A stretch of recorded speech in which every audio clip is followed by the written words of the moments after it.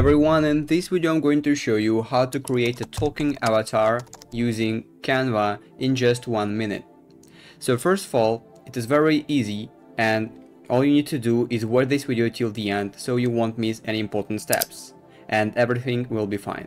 So first of all, you need to go to this canva.com website and here on the left side menu you need to choose apps.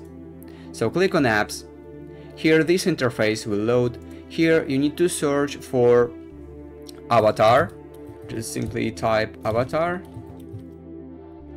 And then click on avatars by Neiro AI. This is what we need. So the first application here is what we need. Click on it.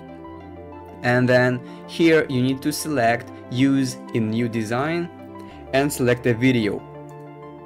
So it will open a new tab where you need to create your own avatar.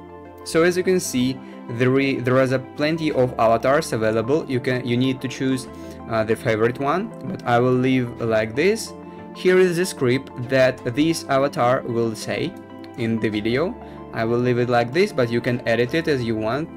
Here you can choose the language and voice tone, for example, and actually the voice. Also, you can preview uh, and uh, listen how the voice will sound like. When you are ready with this, uh, you can just simply click on create a video and it will generate a video uh, with your avatar.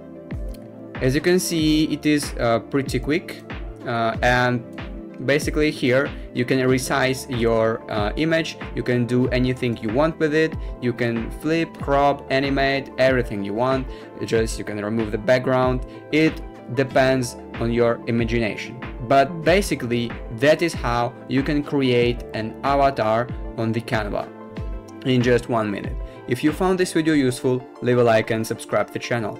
Thank you.